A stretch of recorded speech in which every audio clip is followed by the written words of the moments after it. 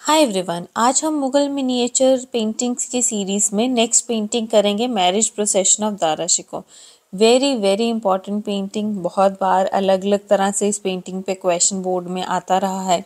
सो so, सबसे पहले main points artist Haji Madni medium water colour on paper technique tempera time period 1740 to 50 AD और Shahjahan time भी लिख से जा सकते हैं और प्रोविंशियल मुगल भी। Courtesy national museum New Delhi so सबसे पहले जल्दी से बात कर लेते हैं सब्जेक्ट मैटर की. सो so, ये पेंटिंग एक हिस्टोरिकल पेंटिंग की कैटेगरी में आती है और एक मास्टर एग्ज़ाम्पल है मिनिएचर पेंटिंग की क्राउडी कॉम्पोजिशन की लाइफ के एक इंपॉर्टेंट इंसिडेंट की एक सेलिब्रेशन को दिखाने की या दर्शाने की. Marriage procession of Dara Shikoh नाम से ही क्लियर है कि इसमें दारा शिको की बारात को बनाया गया है। और कहते हैं इनकी शादी 1633 में हुई थी नादिरा बेगम से। और एक बात बताऊँ, किताबों में लिखा है कि शाहजहां के सबसे बड़े बेटे दारा शिको की शादी मुगल सल्तनत की सबसे महँगी शादी मानी जाती है। इतिहासकार लिखते हैं कि इनकी शादी में इतने पटाखे छोड़े गए थे कि रात में भी दिन जैसी रोशनी फैल गई थी। और कहते हैं कि उस जमाने में इनकी शादी में बत्तीस लाख रुपए खर्च हुए थे और ये शादी आठ दिन तक चली थी। अब ये सब बताने का पर्पस मेरा यहाँ है कि जिस तरह से ये इवेंट हुआ या जो ये शादी मनाई गई और उसका पिक्चराइजेशन देखें आर्टिस्ट ने किस तरह से उसको चित्रित किया है एक पेंटिंग में। जो चलिए समझते हैं डिस्क्रिप्शन से कि किस तरह से इस पेंटिंग को, इस पूरे सीन को कंपोज किया गया है। अब देखें इस पेंटिंग को ध्यान से। जैसे मैं कहती हूँ कि आपने बेटा पिक्चर को देखना है, जब मैं बोल रही हूँ सो आप उस पेंटिंग में वो पॉइंट्स देखने की कोशिश करें जो मैं आपको समझा रही हूँ। इससे आपको कभी भूलेगी नहीं पेंटिंग सो बेसिकली देखें तो ये पेंटिंग को दो सेगमेंट्स में बटी हुई है ब्राइट साइड और ग्रूम साइड राइट साइड में दुल्हन के परिवार को बड़ी संख्या में, जिसमें फीमेल्स भी हैं, मेल्स भी हैं, पूरी तरह से सजे धजे बारात के स्वागत के इंतज़ार में दिखाया गया है। और लेफ़्ट साइड में देखें, शाही लोगों की बारात को आते दिखाया है। दाराशी को लीड कर रहे हैं इसको। सबसे आगे डेकोरेटिव घोड़े पर पूरी तरह से यूँ अलर्ट बैठे हैं। इनके साथ तीन अटेंडेंट्स चल रहे हैं। जिनमें से एक ने घोड़े को पकड़ा है, एक के पास चौरी है और एक मोमबत्ती को पकड़े हुए है। दाराशिकों को ब्रॉकेट का अंगरखा पहने और मोतियों की सेहरा पहने हुए दिखाया है। और अगर जो इनकी पगड़ी है ना, वो भी मोतियों से ही जड़ी हुई है, जिसमें एक पीछे देखे पंख भी लग रखा है। उनके एक हाथ में उन्होंने घोड़े की लगाम को पकड़ा है और दूसरे हाथ में रुमाल पकड़े हुए हैं। आप देखें, ये फ़र्स्ट जो मेन फिगर है, जो डोमिनेटिंग फिगर है, वो दारा शिको की है उनके पीछे शाहजहाँ को ठीक इनके पीछे दूसरे घोड़े पर सवार दिखाया गया है। जो, जिनके सिर के पीछे आप देखें, ये गोल्डन हेलो और ब्लूइश ग्रीनिश कलर का हेलो दिखाया गया है। जैसे संतों के सिर के पीछे होता है ना लाइट का और सर्कुलर सा दिखाया जाता है, वैसे ही इनके पीछे भी दिखाया गया है।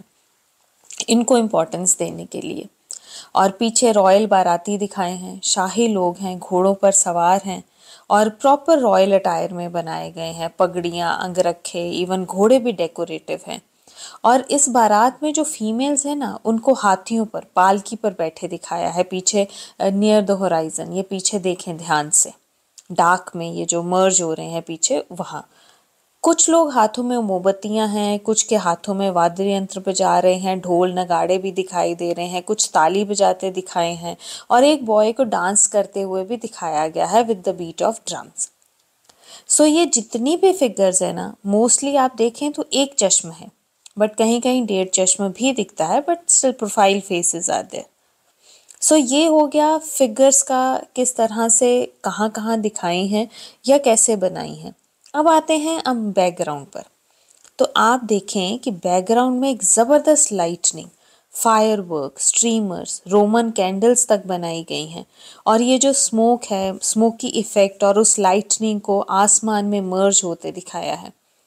ब्रिलियंट डिपिक्शन है डेकोरेटिव बॉर्डर हैं कलर्स में इतनी मास्टरी, आप देखें, गोल्ड कलर को बहुत प्रोमिनेंटली यूज़ किया गया है, जबकि white red green maroon turquoise फिरोज़ी, नीला रंग, ये सब लगाए गए हैं।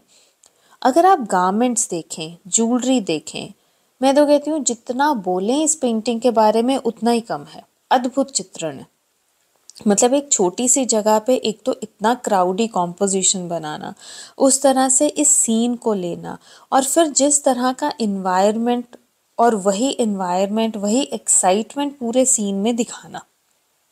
अलग अलग रंगों में, जैसे आप घोड़े भी देखें, ये घोड़ों की जो लाइन है, कितने सारे रंगों में घोड़ों का चित्रण है।